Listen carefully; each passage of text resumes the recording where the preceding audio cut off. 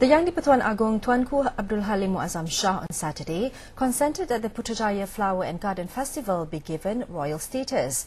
The Putrajaya Royal Floria Festival is officiated by His Majesty Tuanku Abdul Halim at Pesisiran Tasik Precinct 4 on Saturday. With the theme Begonia Mesmerizing Colors, the festival, which is an annual event, displays 400,000 species of plants and flowers. It is now in its seventh year. The nine-day festival, organized by PPJ, ends on June 22nd. It involves the participation of 37 international landscape designers and florists, including from the US, Singapore and Taiwan.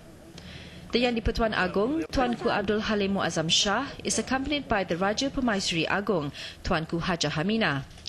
Also present were Federal Territories and Urban Wellbeing Minister Datuk Sri Tengku Anand Tengku Mansor and Putrajaya Corporation PPJ President Tan Sri Dr. Asih Cik Mat. Meanwhile, Tan Sri Dr. Aseh Mat, when met by reporters, said with the festival now accorded the royal status, it was now on par with some of the international flower festivals like the Royal Chelsea Flower Show.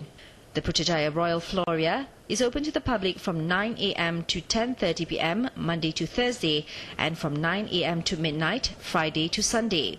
The entrance fee is 3 ringgit for an adult and 1 ringgit for children aged between 7 to 12 years old.